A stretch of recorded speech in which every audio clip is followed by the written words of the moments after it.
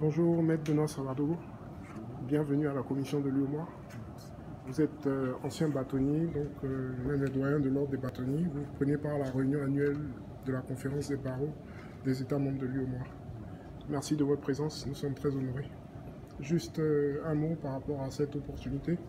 Oui, écoutez, comme vous le dites, et comme les confrères burkinabés présents vont vous le je suis le vice-doyen des bâtonniers du Burkina.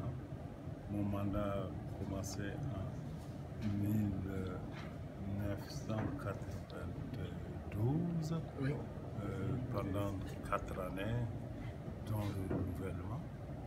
Je suis j'ai été bâtonnier de l'ordre des avocats. Vous voyez déjà que ça date. hein. Tout à fait, tout à fait. Nous espérons en tout cas profiter de votre riche expérience et de vos orientations euh. Je ferai pour le. Merci beaucoup, merci beaucoup, maître. Bons travaux. Merci. Voilà, je rappelle que nous sommes présents dans le cadre de la réunion annuelle de la conférence des barreaux des États membres de l'UOMOA qui se tient à Ouagadougou du 2 au 3 août 2018.